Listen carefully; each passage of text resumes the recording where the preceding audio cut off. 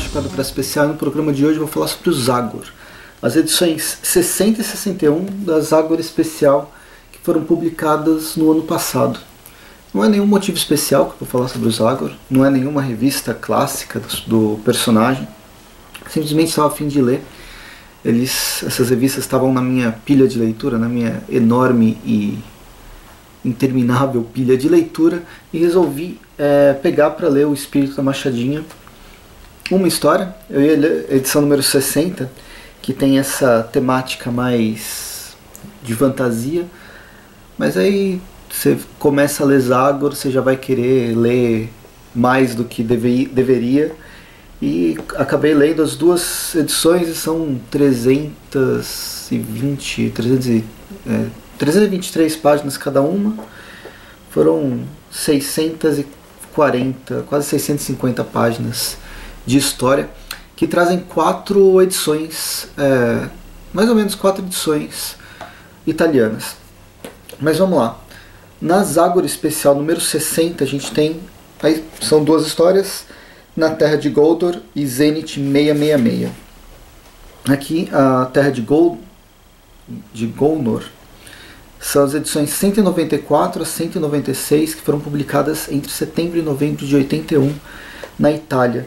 O texto é do Tiziano Sclave com as cores do Donatelli, ou seja, o criador do, é, do Dylan Dog, trabalhando aqui no Zagor.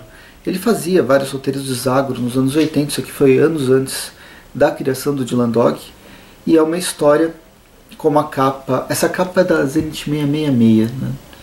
mas uma é mais ou menos. Uma bebe da outra, bebe de histórias vindas, vindas da. ou ideias vindas da, da outra revista. Mas o lance é que o, o Tiziano Sclave vai levar o Zagor e o Chico para um universo paralelo de fantasia. Os dois personagens recebem um livro estranho e misterioso que eles tentam ler, mas é uma linguagem completamente bizarra que não dá para entender, uma carta explicando dos perigos de quem tem o tomo. Mas o tomo é enviado para o Zagor porque o Zagor já é um herói reconhecido, então talvez os perigos sejam evitados na mão do Zagor. Por todas as pessoas que passaram por esse, pegaram nessa, nesse livro, essas pessoas acabaram morrendo por questões bizarras. É, parece que tem um duende, um anão que aparece e pode matar o, o cara que segura, que guarda o livro. E esse anão, esse duende, realmente aparece na edição, logo no comecinho da edição, e isso que vai. O único que viu direito foi o Chico, aqui é o, o duende. E isso vai deixar os personagens preocupados que vão atrás de tentar descobrir o que, que é esse tomo, quem que estava com ele antes. Essas pequenas passagens do tomo que traz uma loucura incontrolável, dá para ver que o Tiziano Esclavo já está querendo trabalhar com elementos de horror. Tem ecos assim de Lovecraft, como se fosse um Necronomicon, o livro do Rei Amarelo, do Robert Chambers, na verdade, talvez até mais parecido com, o Robert Chambers e mais para frente um Lovecraft. Logo que eles abrem esse livro é, na cabana, né, na cabana do Zagor, o, todo o céu que estava completamente claro começa a chover e aí tem uma chuva torrencial que vem em seguida. Esse é o primeiro arco de histórias que vai trazer uma saga fantástica no universo Zagor e uma das coisas que me chama a atenção, que eu gosto bastante desse personagem, é que ele traz desde histórias é, full Velho Oeste, como eu vou falar aqui na edição número 61, a segunda em especial, Os Cinco Carrascos, desde histórias fantásticas como essa na Terra de Golnor Zenith 666. Estranhos Poderes é uma mescla dessas duas, mas eu chego lá. No desenvolvimento da Terra de Golnor, eles vão começar a investigar, tentar descobrir o que aconteceu. O antigo portador do tomo, ele morreu. Quando eles vão na cabana dessa pessoa, ocorrem alguns eventos fantásticos que acabou, a cabana acaba sendo queimada e os dois quase que morrem. Quando a cabana se inflama, vem uma caveira em chamas que aparece E aí a gente vai, é, eles vão tentar seguir as pistas de onde estaria o tomo, com algumas algumas coisas que eles conseguiram ler no meio do caminho, algumas pistas que eles conseguiram, e aí eles vão é, acabar chegando nessa terra fantástica, onde tem três raças que estão em guerra há muito e muito tempo. Então, de Chambers e Lovecraft, aos poucos a gente é levado a um Tolkien e qualquer autor similar nessa, nessa linha, e para além das florestas de Darkwood, que o Zagor eles, ele tem sua sede, né, ele mantém suas aventuras a partir dessa floresta mítica de, de Darkwood. Ele vai em direção ao Canadá, mas passa por uma realidade, uma realidade inexistente, que só através do livro que ele conseguiu chegar lá. É uma história bem legal, a, vira uma batalha contra o Senhor do Escuro, tem uma sequência de mortos-vivos atacando uma guerra de, com um exército de mortos-vivos. É interessante ressaltar também que esse momento, o momento que a história foi publicada, 1981, o RPG ainda estava engatinhando. Já existia o D&D, já existia, se não me engano, o AD&D de 79, D&D começa seus, suas primeiras... Seu, ele surge em 1973, então tem outros sistemas que estavam sendo criados, mas ainda era uma coisa muito nova, ainda era uma coisa que não estava no, no imaginário popular. Outro elemento de fantasia do cultural dessa época é que em 19, na década de 70, não lembro exatamente que ano, foi lançado um desenho animado do Senhor dos Anéis. Um, senhor, um desenho que foi, fez bastante sucesso. E a caracterização do personagem dos duendes lembra um pouco a caracterização dos hobbits daquela de, de, dessa animação. E aí a gente pode colocar outras é, outras referências. O personagem aqui que vai o personagem mais parecido com um humano que vai ajudar eles tem semelhanças com o Conan, de certa forma, algum Conan, ou pelo menos o Casar.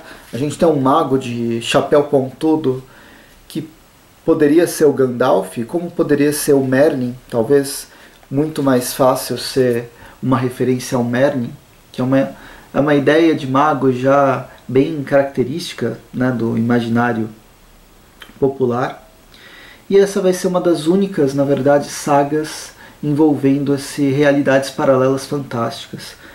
Depois de 81, o próximo universo fantástico seria, que seria visitado pelo Zagor ia acontecer na Zagor Speciale, na, na primeira edição da Zagor Speciale italiana, com a história Il Principe degli Elfi, do Mauro Bozelli, que é de 99. Em 2001 seria Gli Eroi de Ramo Rosso, e com, com o Bozelli também. E depois da Mensal do Zagor, número 433 e 434 e, por fim, na Zagor Gigante do, de número 1 de 2011, na, história, na história Il Castello nel Cielo do Mauro Buratti. E é engraçado que cada vez essas quatro histórias fantásticas que vão ocorrer de 81 até 2011, elas são em universos diferentes. Cada vez ele visita um universo diferente, até que em, 1900, em 2016 deixa eu ver aqui no início, essa segunda história, Zenith 666, ela foi publicada aqui lá na Itália, na Zagor Mei, é, 615, em outubro de 2016. Foi uma edição especial, colorida, ela fazia homenagem aos 30 anos do Dylan Dog, então os, os autores aqui resolveram fazer essa homenagem levando um pouco de terror para o personagem do Zagor. Aqui a gente tem o Mignat, Mignaccio e o Picanto Iuriccio fazendo os desenhos. A, a, própria colorização, como a publicação brasileira ela está em branco e preto, a gente tem um tons de cinza, mas ela foi colorida inicialmente.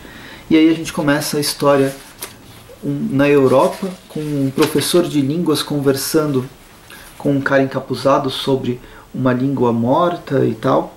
Esse cara, esse professor é assassinado pelo encapuzado e a gente vai para Darkwood, onde encontra o Zagoro brincando de, de Tarzan na floresta como ele sempre ele sempre faz.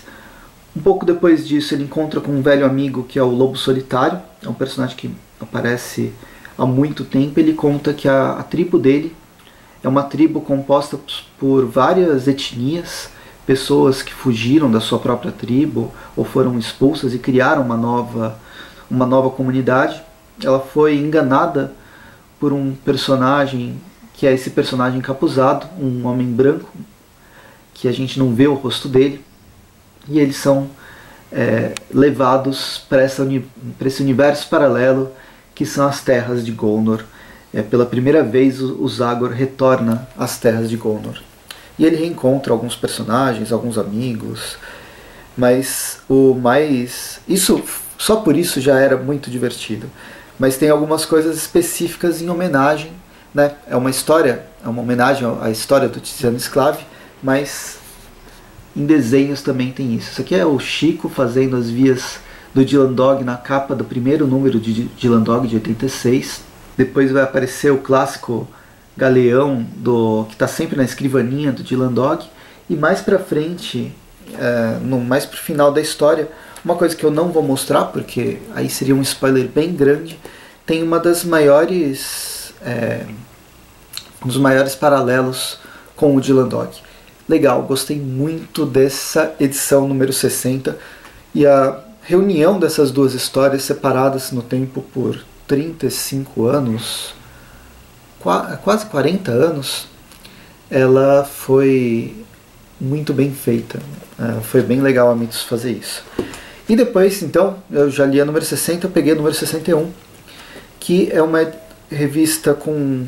São duas é, Zagor Speciale, a número 27 e número 28, uma de abril de 2015, outra de abril de 2016 a primeira, Estranhos Poderes, tem os desenhos, é, tem o, o, o argumento do Mauro Buratti, o Moreno Buratti, tem o, os roteiros, eles foram desenvolvidos pelo Lorenzo Bartoli e os desenhos são do é, Walter Venturi.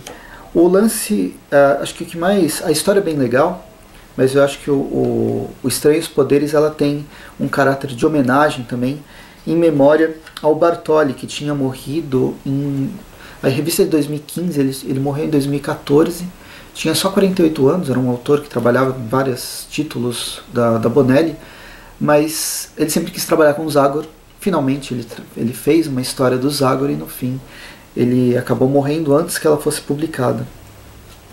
E é uma história sobre um garoto, é, um órfão que está indo de família em família, sendo é, abandonado, na verdade, por várias famílias, porque junto com esse, com esse garoto, um garoto mudo inicialmente, pessoas, ah, na verdade, pessoas morrem.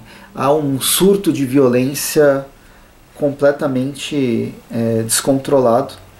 E é ao, ao decorrer da história que a gente descobre que o garoto tem poderes telepáticos, a história vai se desenvolver principalmente nessa investigação do Zagor para tentar descobrir metade dela tá o Zagor tentando descobrir o que está tá acontecendo e na outra metade o Zagor conversando com o garoto e depois vendo que todo, todo esse descontrole de poder ele é muito consequência dos abusos e da violência física e moral que a criança sofreu durante toda a sua vida. Um garoto de 8, 10 anos de idade, acho que oito anos só.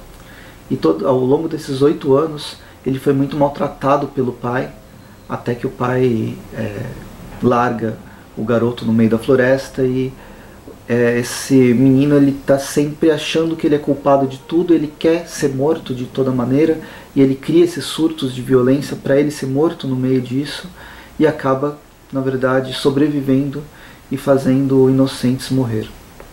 Gostei a história é, é emocionante é, pela relação familiar e toda essa questão da violência, como ela é tratada, e ainda tem esse lance do roteirista né, querer trabalhar com o Zagor e acabar é, fazendo um trabalho com o Zagor, mas morrendo antes disso. A segunda história ela se chama Os Cinco Carrascos, é do Roberto Altariva e do Alessandro Chiaro. É uma história mais Essa é a mais próxima de um texto clássico de Wester, que são dois irmãos que perderam os pais, foram assassinados por é, caçadores de recompensa, e aí eles estão buscando vingança, indo um a um atrás de, dos caçadores de recompensa, tentando matar essas pessoas. Eles, ela tem algumas viradas de roteiro, ninguém aqui é 100% bonzinho, talvez ninguém além do Zagor e do Chico, todos os outros personagens eles não são inocentes. E o Zagor e o Chico estão indo de um lado para o outro, tentando resolver a situação, tentando evitar que os dois irmãos continuem sua jornada de matança. Também é uma história bem legal, é, tem uma, uma, trama, o desenvolvimento da trama com todos seus suas viradas de, de roteiro são, são várias que acontecem, algumas bastante inesperadas. É uma construção bem legal que vai para além de um mero de uma mera perseguição de ação, mas não tem nada de não dá para se dizer que tem nada de comédia. É um drama com bastante violência de vingança. Gostei. Esses são os Agora Especial 60 e 61. Se eu não me engano, já está na edição número 67. Né? Esse ano está sendo lançada a edição número 67. Dá para encontrar algumas dessas edições na loja da, da Amazon. Se tiver na loja da Amazon, peço para vocês comprarem por lá pelo link aqui do canal, que vai ajudar bastante. Mas também pela loja da própria Mitos. Normalmente a Mitos sempre faz algumas promoções. O pessoal reclama bastante do frete, que acaba sendo caro. O frete está caro para o Brasil inteiro. Então, quanto mais longe, mais difícil fica. Mas a Amazon, com aqueles programas de frete grátis, ajuda bastante. Então, se estiver na Amazon, vale a pena comprar por lá. Se não, busquem em sebos. São histórias bem legais e o Zagor é um personagem que acho que vale a pena ir atrás. Ele está lutando por sobreviver no mercado atual diminuiu muito o número de leitores e ele precisa ser. As pessoas precisam ver o, o personagem, precisam ver o Zagor, precisam descobrir o Zagor para ler suas histórias. Elas têm. Eu já falei sobre ele em várias outras, eh, em outras ocasiões, em outros vídeos, mas a gente tem desde histórias fantásticas até histórias de western mais clássico, histórias de aventura e de quase um road movie ou road comics com na verdade com carroças e não com, com é, carros e estradas, mas são ou é um personagem que consegue trabalhar e viajar entre vários gêneros. Então vale a pena ir atrás e é um, são histórias bem legais. Comentem se vocês gostam dos agros, se não gostam, gostam de, dos agro antigo ou dos agro mais recente, leram essas duas edições 60 e 61, gostam da fantasia ou não. A gente conversa nos comentários, curtam o vídeo, assinem o canal, compartilhem o vídeo, assinem o Chapéu do Presto no Facebook, me sigam no Instagram, no arroba Presto Gaudio. E acho que é isso. Até mais e bons quadrinhos.